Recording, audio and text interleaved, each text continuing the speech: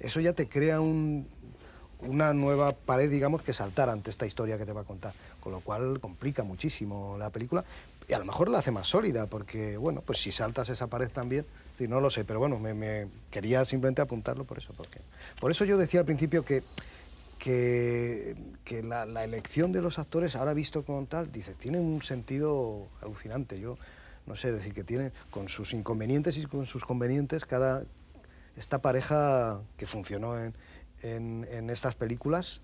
Pero siempre desde la primera vez que se ve esta película, incluso los comentarios de la gente, yo recuerdo cuando yo era un niño, pero es que ella era mayor que él. sí, yo creo que es que, bueno, no lo niega. ese comentario está dentro de la película, está fuera y está dentro. Sí, además, sí, se lo dicen, ¿no? En la fiesta de la amiga se lo dicen. Él da más joven, la fisicidad de Rohanson transmite además con la juventud, la de ella transmite madurez, y eso es evidente. siempre ha sido mayor, Pero aún así tú dices, oye, ¿y esto cómo puede 11 años mayores No te preocupes, Cari, vamos. Pues entendía y se aceptaba, es curioso, ¿no? Claro. Eso luego le pasa también a la Eso podría el melodrama, cuando lo Incluso la, te transmite... Eh, en, en, Camille, en Margarita Gautier, ella siempre parece mucho mayor Greta Garbo que Robert Taylor. Hay unas cosas... es que, hay un grado de fascinación en Greta Garbo, sí, en sí, pero, es igual, pero, que realmente él es como muy jovencito, ¿no? No lo tiene.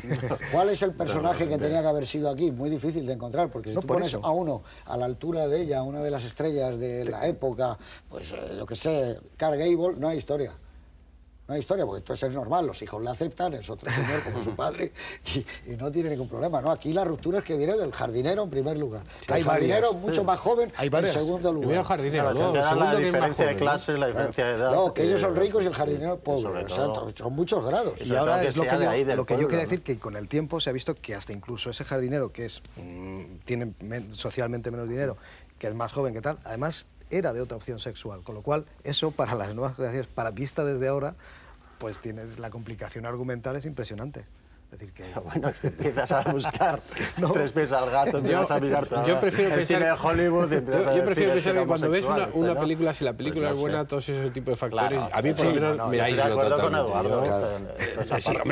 si, no es, mala, que te puedes apreciar incluso los problemas que tienes. Yo creo que la suspensión de la realidad de la que hablaba Walter Benjamin en términos de literatura, esto es un detalle técnico para nuestro amigo Alfredo para que no se queje a estas horas de la madrugada, ¿no? hace que, que, que, tú te sumas en la película y por eso, pues en imitación a la vida, me parece que lo estabas diciendo ahora, la diferencia entre Lana Turner y John Gavin pues es muy notable, es absolutamente notable, ¿no? Eran estrellas y alrededor de la estrella se construye la película. un galán guapo, Pero el otro día ponía, el otro día, eh, eh, bueno, el otro día hace ya hace ya mucho tiempo, vamos, eh, se, se, puso escrito bajo el sol, maravillosa película. Bueno, pues la es decir, no son jóvenes al principio de la película John Wayne y Maureen O'Hara, de otras muchas razones porque en el 55 andarían por los 40 años por lo menos o 40 y tantos años unos y otros, ¿no? Pero yo siempre que he visto la película pues lo considero jóvenes y al final de la película pues sigue siendo joven, aunque le pongan la mecha a Morino Jara cuando vive en San Francisco, ¿no? Yo creo que, que como, es, como es ficción, la suspensión de la ficción, si está bien, a mí por lo menos me lo suspende, pero comprendo perfectamente que haya gente que diga, bueno, pues aquí hay, hay un plus de, de, tal Ella lo que sí transmite muy bien, y en esta película a mí me parece que en esos planos de miradas y esos, hay unos campos contra campos, planos contra planos maravillosos, ella transmite un lado oscuro, fantástico, pero ya ella además de como personaje, como persona. Ah, es, no es una actriz habitual de Hollywood, es una mujer distinta haciendo cine en aquel Hollywood. Y todos sus personajes eran unos personajes, pues por eso ella no era una actriz con glamour, no era deslumbrante, no era de una gran belleza, entonces hace de, muda en Belinda, que la violan y no puede decir quién ha sido. Son personajes como distintos. Y aquí lo mismo, el gran drama, dice, es que lo que me gusta, sí, tu padre era muy bueno, pero es que este chico tiene 25 años y es maravilloso. Pero sin ser alguien que pueda llevarlo eso por el lado del desenfado, del humor, no, no, del lado trágico. No puede hablar con su hija, mujer a mujer. Es que, es que sé que además eso lo acentúa con la puesta en escena tan expresionista. Es que es una de las películas más oscuras. Es decir, es una película del mismo... Yo sobre todo la etapa invernal. Es, en que, es que en la casa siempre, es, esa casa siempre hay oscuridad. Hay, hay cantidad de planos rodados, rodados al contraluz, con el perfil de su amiga y ella delante de la ventana, de los hijos. Mm. Hay muy poca luz en esa casa, esa elección deliberada, y cuando van al molino tres cuartas partes de lo mismo, entonces eso acentúa de tal forma que si le hubiera dado un giro, eso se transforma casi en un thriller psicológico, de esos thrillers de los años 40 de Hitchcock, por ejemplo, de recuerdo, de Notorious, es decir, de todos estos, ¿no? del mundo de Joan Fontaine, mental y tal. ¿no? Y en ellos, y para esa época del Star System, el que a veces tienen media cara. Nada, claro, Sombras, y de tanto él como ella, y los, de espalda, por ejemplo, ¿no? Hay un, brillo en los ojos nada más. Es. toda una iluminación distinta, claro. Él es una herencia muy clara del expresionismo y está iluminada como un thriller. Y el trabajo de Russell Metty, trabajando con el Technicolor de la época, es un Technicolor maravilloso, es fantástico, porque iluminar, eso lo sabes tú mejor que nadie. Eso debía ser extraordinariamente complicado, porque es que te, mete en la oscuridad, pero algún foco de luz. La pelea, eh, la discusión entre la hija y ella tiene una serie de colores porque ha colocado un ventanal con varios colores y aquello casi parece un, viaje de LSD psicodélico, ¿no? Porque son una serie de, artificiosidad y deliberadamente artificial en esa habitación de, la hija, ¿no? Es una, película muy, muy difícil. esos símbolos como las, hojas del otoño que caen y van pasando unas sombras de hojas, de una medida que... por eso le gusta mucho. De la, de la madera siempre produce esa cosa inquietante. Twin Peaks era un mundo de madera. También esos pueblos de, donde está la madera. Acuérdate del arranque, que es un poco lo que estabas diciéndonos tú en la introducción tuya, de Terciopelo Azul.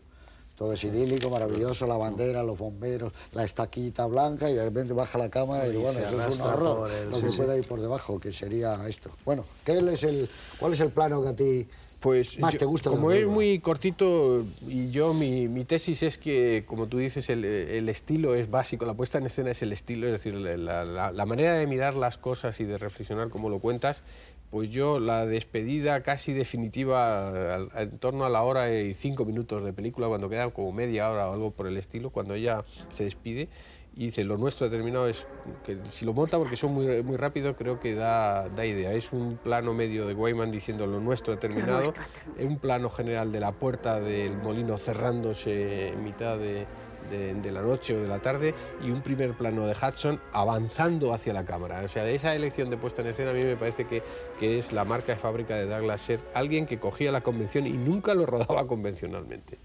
Para ti, Oti, ¿cuál es el momento de la película que Pues más yo, gusta? pues por sacar a colación otra vez esto, pues el momento en que el melodrama se distorsiona y aparece esa televisión, esa imagen de ella de la vida, anunciando, anunciando que años después era un ser peligroso en las telenovelas de sobremesa. Eso yo creo que me gusta mucho.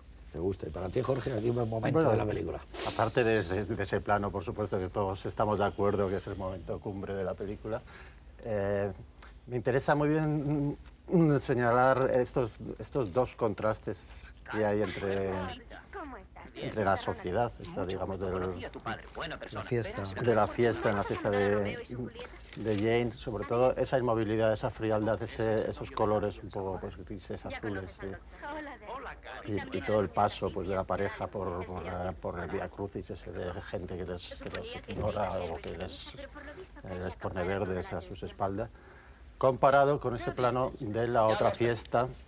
Donde se mira ya desde arriba cómo bailan todos, cómo escorchan el vino de entelladas, donde ella está tratando de adaptarse, pero es otro color, otra forma de movimiento, y aunque luego ya lo vemos desde arriba, pues como también si, se está observando pues una pecera con unos bichos raros, pues eh, creo que son dos, dos, planos que nos señalan muy bien las dos, las dos sociedades y, las dos elecciones que tiene ella, pues, por la, que está continuamente con ese dilema.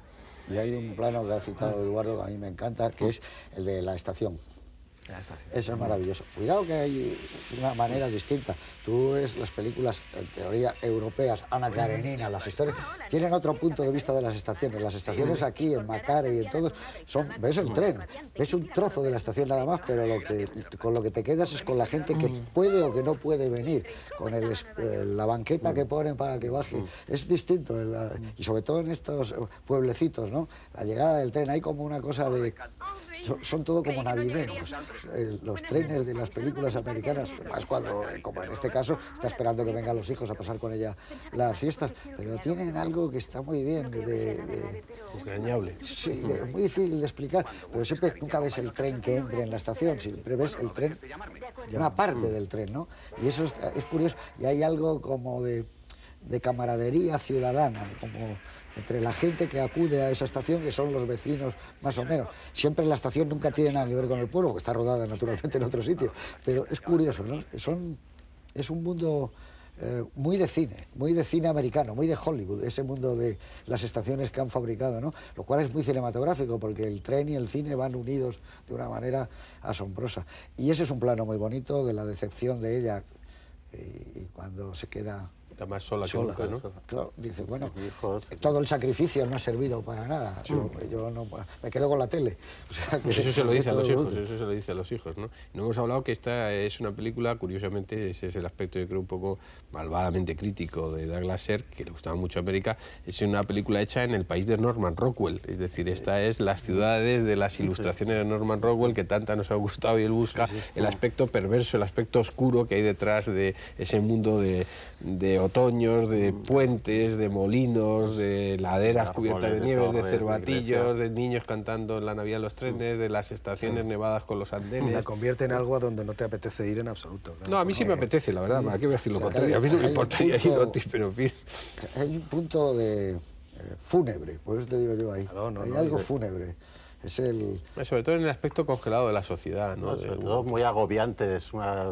Es una asfixia la que tiene esta mujer y la que tienen en el fondo todos los que están ahí.